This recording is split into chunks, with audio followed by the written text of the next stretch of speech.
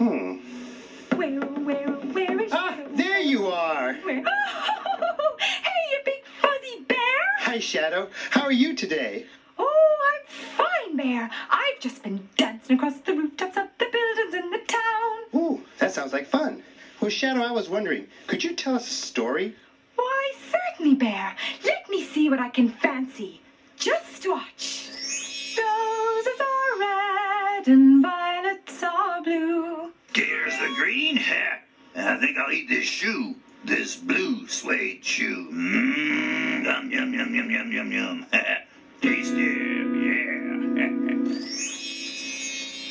Wow, what a great story. Hmm. Um, I'm curious. What color is a shadow? Hmm, that's a tough one, Bear. But I'd say it's whatever color we're falling on. Just a little darker. Wow, now that's interesting. Yeah. Well, I'm off to play sun. Bye-bye, Bear. Oh, bye bye, Shadow. Thank you.